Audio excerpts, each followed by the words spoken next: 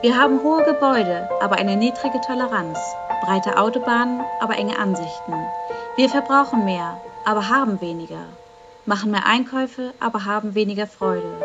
Wir haben größere Häuser, aber kleinere Familien, mehr Bequemlichkeit, aber weniger Zeit, mehr Ausbildung, aber weniger Vernunft, mehr Kenntnisse, aber weniger Hausverstand, mehr Experten, aber auch mehr Probleme, mehr Medizin, aber weniger Gesundheit. Wir rauchen zu stark, wir trinken zu viel, wir geben verantwortungslos viel aus, wir lachen zu wenig, fahren zu schnell, regen uns zu schnell auf, gehen zu spät schlafen, stehen zu müde auf. Wir lesen zu wenig, sehen zu viel fern, beten zu selten. Wir haben unseren Besitz vervielfacht, aber unsere Werte reduziert. Wir sprechen zu viel, wir lieben zu selten und wir hassen zu oft. Wir wissen, wie man seinen Lebensunterhalt verdient, aber nicht mehr, wie man lebt. Wir haben dem Leben Jahre hinzugefügt, aber nicht den Jahren Leben. Wir kommen zum Mond, aber nicht mehr an die Tür des Nachbarn. Wir haben den Weltraum erobert, aber nicht den Raum in uns.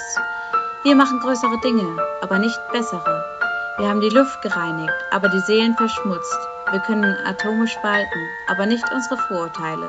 Wir schreiben mehr, aber wissen weniger. Wir planen mehr, aber erreichen weniger. Wir haben gelernt, schnell zu sein, aber wir können nicht warten. Wir machen neue Computer, die mehr Informationen speichern und eine Unmenge Kopien produzieren, aber wir verkehren weniger miteinander. Es ist die Zeit des schnellen Essens und der schlechten Verdauung, der großen Männer und der kleinkarierten Seelen, der leichten Profite und der schwierigen Beziehungen. Es ist die Zeit des größeren Familieneinkommens und der Scheidungen, der schöneren Häuser und des zerstörten Zuhause. Es ist die Zeit der schnellen Reisen, der Wegwerfwindeln und der Wegwerfmoral, der Beziehungen für eine Nacht und des Übergewichts. Es ist die Zeit der Pillen, die alles können. Sie erregen uns, sie beruhigen uns, sie töten uns. Es ist die Zeit, in der es wichtiger ist, etwas im Schaufenster zu haben statt im Laden, wo moderne Technik einen Text wie diesen in Windeseile in die ganze Welt tragen kann und wo Sie die Wahl haben, das Leben ändern oder den Text löschen. Vergesst nicht, mehr Zeit denen zu schenken, die ihr liebt, weil sie nicht immer mit euch sein werden. Sagt ein gutes Wort denen, die euch jetzt voll Begeisterung von unten her anschauen, weil diese kleinen Geschöpfe bald erwachsen werden und nicht mehr bei euch sein werden. Schenkt dem Menschen neben euch eine heiße Umarmung, denn sie ist der einzige Schatz, der von eurem Herzen kommt und euch nichts kostet. Sagt dem geliebten Menschen, ich liebe dich und meint es auch so.